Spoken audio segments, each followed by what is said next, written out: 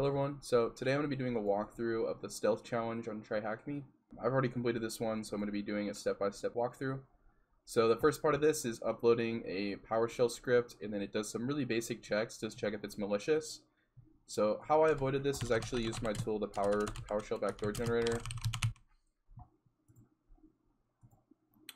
Um, I cloned this, then I went into the PowerShell directory.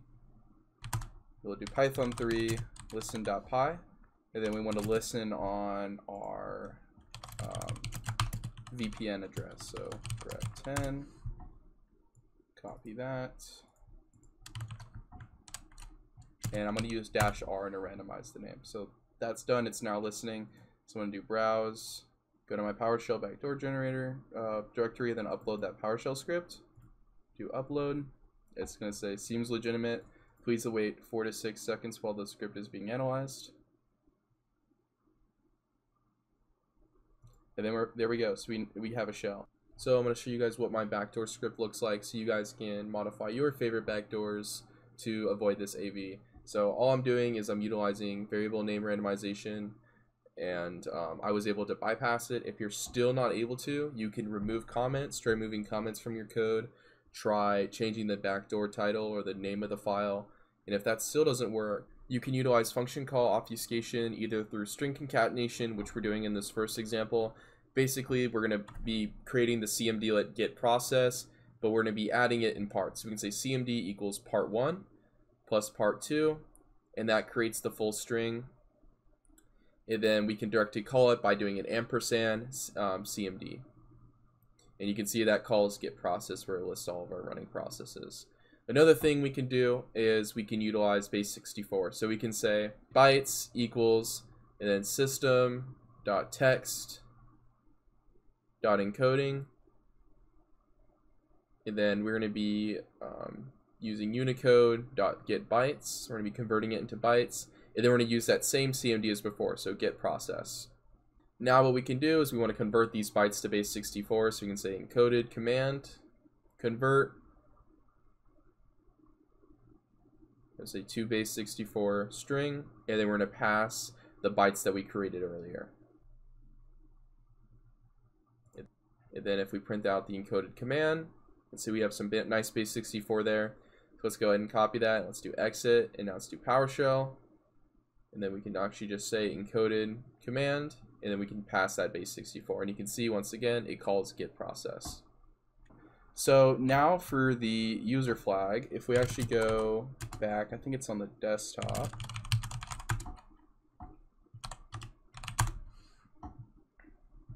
Yeah, there's this encoded flag. So we can use type to print out the contents of it. And you can see it's some base 64 string. So if we actually copy this, base 64 decode, uh, decode, yep, so it says you can get the flag by visiting the link, and then it gives you this link to go to. So I'm to copy that, duplicate. Actually, we shouldn't need this again. So I'm to paste this here. And it says, hey, seems like you uploaded an invalid file. Blue team has been alerted. Hint, maybe try removing the log files. So there's actually a log file in, um, there's one in the documents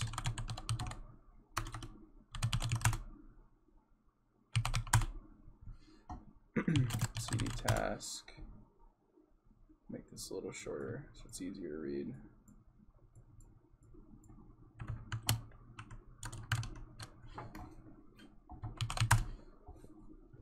So there's one here, so we can do del log.txt.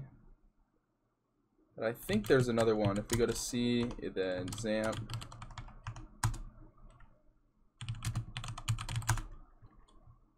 Um, the XAMPP directory is where this uh, web paste is getting hosted right here. So we cd uploads, dir, and then there's another log file right here, log.txt. And you can see this is our script that we uploaded. So we can do del log.txt, and that's going to go ahead and remove it. So let's go back here and refresh. And you can see there's the user flag right there. So evasion local user. So now we need to actually escalate our privileges, right? And we can do this by running privscheck. Um, privscheck is a really nice Windows PowerShell script that runs through a lot of different checks to see if we can escalate our privileges. like enumerating local groups, our current privileges, privileges of other directories, unquoted service paths, and actual kernel exploits. So you can download this just by clicking this privscheck.ps1 and then clicking the download button. And then I went ahead and I moved it to my HTTP serve directory in my downloads. So I'm running Python 3 and then I'm hosting a web uh, a web HTTP server. And if we actually go to it, um, you can see it's actually hosting all these files that I've downloaded to this directory, including the priv script. So now let's go ahead and download it.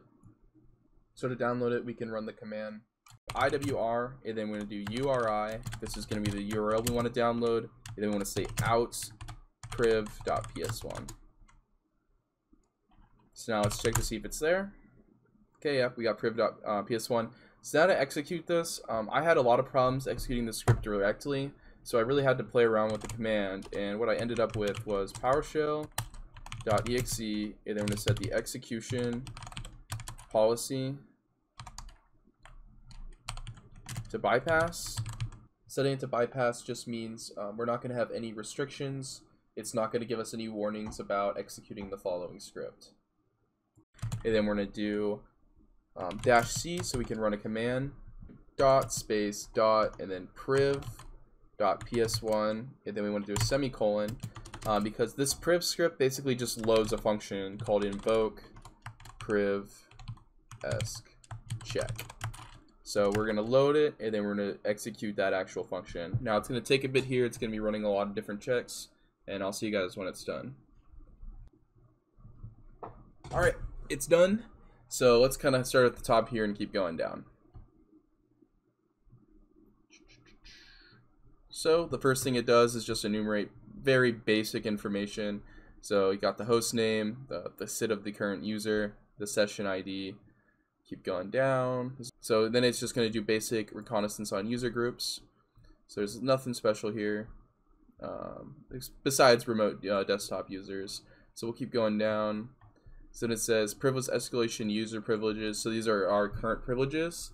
And so we have SC change notif notify privilege, which by bypasses traversal checking, not exploitable. Both of these are not exploitable. So credential access, it enumerates local variables to see if anything is saved in the in the environmental table. So then we got non-default services. So now it's just enumerating what other services are on. We got the Amazon SSM agent, um, Apache, right, running in that um, running in that uh, XAMPP directory, AWS Lite, so I'm sure um, TryHackMe uses AWS to host their servers. Um, Google Update Services, nothing really too crazy, and then SSH, which is disabled. Keep going down. So now it's going to check for uh, privilege escalation vulnerabilities. So it didn't find anything for the kernel. Um, service permissions, it didn't find anything. Service registry permissions, didn't find anything. Let's keep going down. And now we get to something interesting, which is service binary permissions. So in the folder czamp, uh, it actually has the permission of write DAC, which means we are able to write to the access control. And the access control in the context of Windows is basically how resources are allocated to users. So it has an access control list of, oh, only administrator can access these files, only evader can access these files. This system revolves around permissions and security principles, ensuring that only authenticated users um, or processes can access certain resources. So we don't have this permission, right? If we remember from earlier, we don't have this permission. So how we can actually exploit this is by uploading a shell to the XAMPP htdocs directory. So if we actually go to, um, yeah, there's a lot of stuff here. If we actually go to that XAMPP directory and then htdocs this is the these are the files getting served back to the user. So if I actually open up Firefox, we're going to be using the PowerShell. Uh, I'm sure I spelled that wrong. No, what's it called? Po. Yeah, here it is. The Pony shell. Sorry. So this is a very popular um, web shell. It actually gives you a really nice output. Um, and so we're gonna go ahead and already have this downloaded shell.php it's in that same directory before, so I'm going to go ahead and open this up and see shell.php. I'm to add this to the end. I'm to go back and I'm to say IWR dash URI, same thing as before, and then out shell php. And now I'm gonna run who am I again? Who am I slash priv. And we are going to go here and we are gonna go to it's on port 8080 and then shell dot php. All right, so now we have we have another shell. Let's go ahead and make this a little smaller. And if I actually do, who am I, slash priv, you can see we have different permissions now. We have the SE impersonate privilege, which just basically means we can impersonate. So to actually exploit this, we can use another tool. It's called EFS potato. Go ahead and go here. And so this just basically exploits the SE um, impersonate privilege vulnerability. So now what we're going to do is we're to download this. I already have it downloaded and it's in my HTTP serve directory. So I'm going to go back. Let's open this up again. And then it's at efs.cs. So go ahead and copy that. And now what we're going to do is go back to our pony shell. And we are going to go to our users folder. So users and then evader. Clear the screen real quick. Uh, dir. You can see. Oh yeah, we didn't download it. So now we're gonna do IWR dash out file or URI. Paste that at URL one last time, and then we're gonna do out efs.cs. Yeah, whoops, did I spell it wrong? IW. Oh, we're not in PowerShell, so we want to do PowerShell um, dash C for command, and then we want to, I'm just going to copy this. Uh, copy. This shell opens CMD. So now if we do ls or dir, you can see that efs.cs is there. So if we actually go back to the instructions on this, you can see it says to run csc.exe. Now this won't work. It's not, this uh, binary isn't added to, uh, isn't added to path. So what we can do is if we actually go under, you can see it has some instructions here we go ahead and copy this directory, we can do cd, um, Windows Microsoft Net, then framework, and then we want to enter this last directory right here.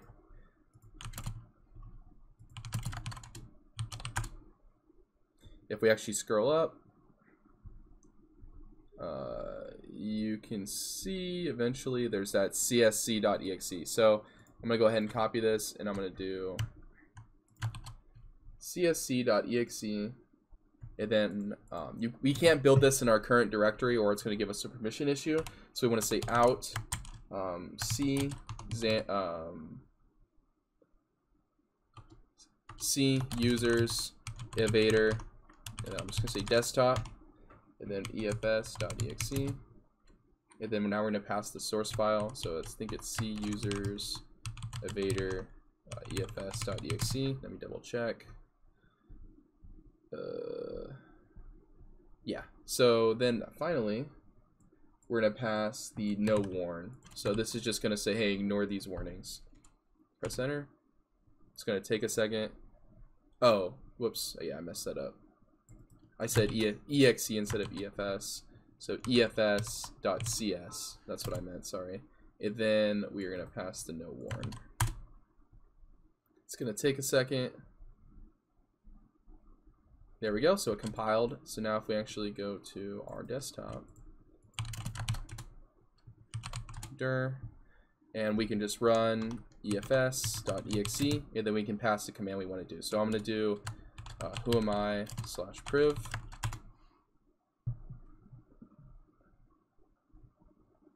Actually, no, we need to just do who am I. just going to do who am I. Yeah, NT authority system. So now we have all these permissions and we're now system. But now it's, you know, it'd be a lot of work to just run commands until we finally find the root flag. So instead, what we can do is we can add a local user and um, RDP is enabled on this machine. So what we can do is we can do efs.exe and then what we're going to do is net user um, rooted password 123 and then we're going to do slash add. So that adds a user and now to actually give that user administrative privileges we can do efs.exe net local group administrators rooted slash add. And that's going to add him to the administrator group. So now what we can do is I have on Linux uh, the Remina client. This is for RDPing and we can just do a new connection here. And username is rooted password is password one two three exclamation point and the server is this IP whoops. Let's go ahead and connect. It's going to ask us if we accept the certificate. And there we go you can see it's working and we're logging in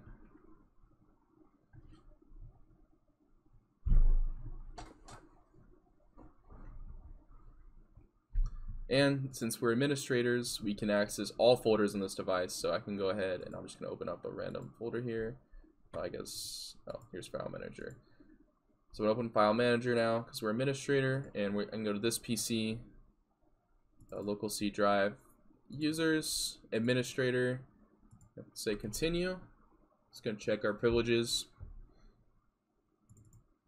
And now, if we go to desktop, the flag is right here. So put it up. THM admin access. So I hope you guys enjoyed. I thought this was a fun challenge. Um, I'll see you guys in the next video.